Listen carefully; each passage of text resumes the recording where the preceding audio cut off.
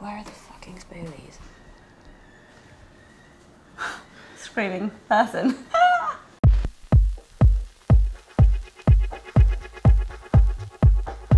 Hi everyone, so for today's masterclass, I'm going to show you how to recreate a makeup look that I designed for Stylist magazine. It's a really gorgeous kind of emerald green, glossy lid, beautiful orangey, corally red lip, and then I'm going to show you a technique that I like to use to create really extreme spidery coloured lashes. So I'm going to use a nail varnish and a false lash to create that effect. So as you can see, I've bleached Betty's eyebrows and I'm just going to begin by creating that really perfect, quite powdery base. So I'm going to be using a little bit of NC15 and this is the MAC uh, Studio Fix, which is really nice high coverage foundation. So you want to get right into the eye sockets underneath and really just kind of give that foundation a good wash over everything. And now I'm going to take a little bit of concealer and I'm going to take these MAC 24 hour concealers and I'm just gonna blend a little bit of that into uh, the highlights of her face, which will create a really lovely matte kind of finish.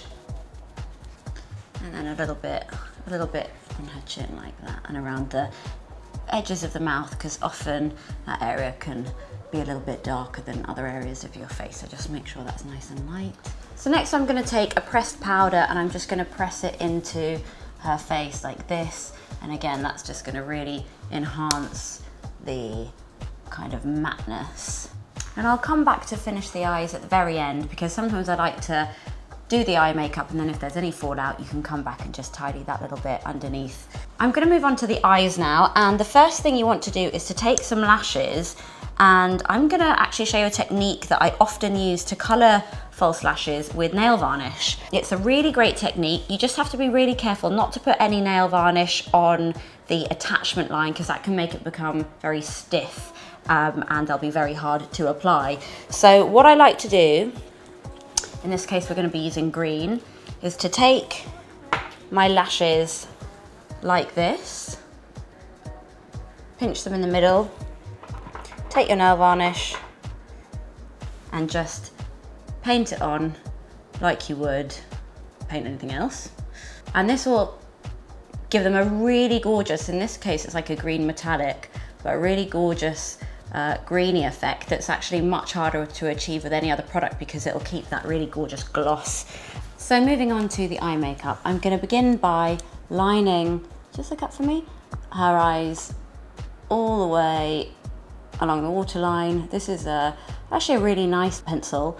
It's, a, it's just an H&M metallic green pencil. And then I'm gonna just do her upper lid as well. I'm just using a handy little pad here to stop my fingers marking the makeup on uh, Betty's face because it's always very annoying. So the next step is to now take your green and here I'm just using this Too Faced palette, it is Too Faced, yeah, and uh, this lovely green color here. So I'm just gonna get a uh, little makeup brush and I'm gonna start blending upwards now. You can see there's a bit of fallout there, we'll tidy that up after. Really nice, nice green color. And now I'm gonna take this green, it's a little bit lighter, it's a pigment, I actually don't know where it's from, but um, I'm gonna apply that just above that green area. So just take a little bit here, put it on the back of my hand, see how nice, nice and bright it is. And then I'm just gonna blend up a little bit more into the socket so you have a just really nice kind of tonal blend. And if you begin to get too much drag, you can always change your brush and then blend that line out and that will give you a kind of a really perfect, not too smudgy blend and I'm going to do the same underneath so I'm just going to go back in with this and just kind of go over the line and blend that out and connect the two like that. So the next step is to apply the lashes. Um, I actually find that this tubey glue is kind of easier to work with than the normal duo um, this kind of latexy one for some reason. I feel like it's a bit a bit more adhesive. I'm gonna do a line on her lash line first. And then I'm also gonna do a line on the actual lash and using uh, two layers of glue like that just allows for it to become really sticky. Now because these lashes have had some uh, nail varnish on, you might want to just kind of try and give them a bit of a, a wobble around because the, the, uh, the nail varnish can make them come a little bit stiff. And then apply the lashes like you normally would. While you're waiting for the lashes to set, um, I'm just gonna go over the lash glue while it's still a little bit tacky, just with that um, green that I used earlier, and that will just kind of seal the line there. So just take a little kind of flat tip brush, take that green and just press it onto the lash line like that.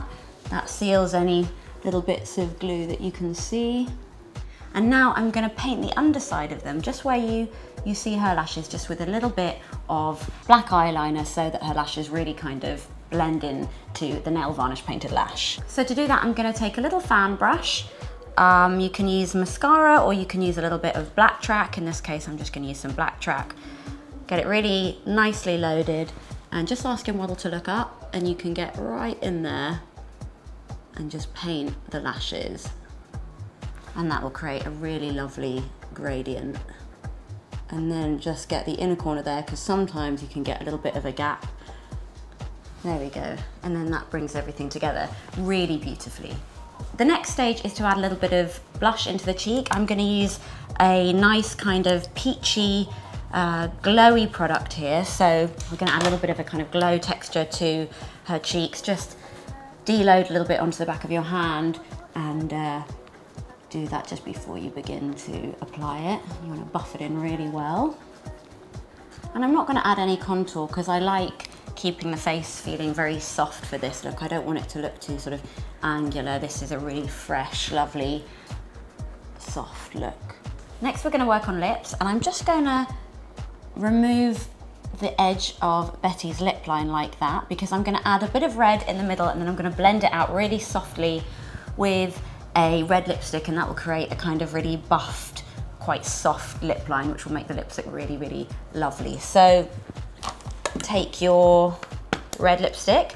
I've got a few different ones, so it's sometimes nice to just hold the palette up to the eye and then you can kind of work out which one would be nicest. I think something kind of in the more orangey world could be really beautiful. So I'm gonna go for something like this one and I'm just gonna pat it on the inside like that and like that.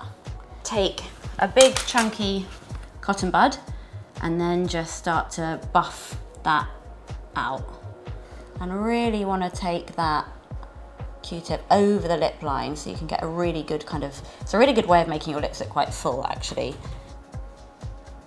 And then I'm gonna finish up the look by adding a little bit of concealer under her eyes, lightening up these brows a bit because they look a bit yellowy at the moment. And then I'm gonna finish by adding some gloss on the lids to make it look really lovely. And just basically tidying up and putting the finish, finishing touches on the look.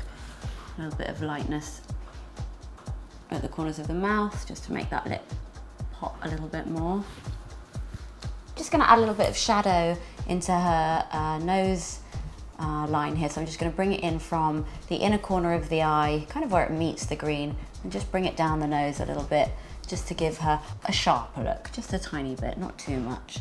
But I think it's nice to have a little bit of kind of sculpting that brings all the attention into the, the center of the face. So just a little bit like that. And then a little bit just under the lip line, just to accentuate the lips. Now I'm gonna take my white airbrush and a little spoolie and I'm just gonna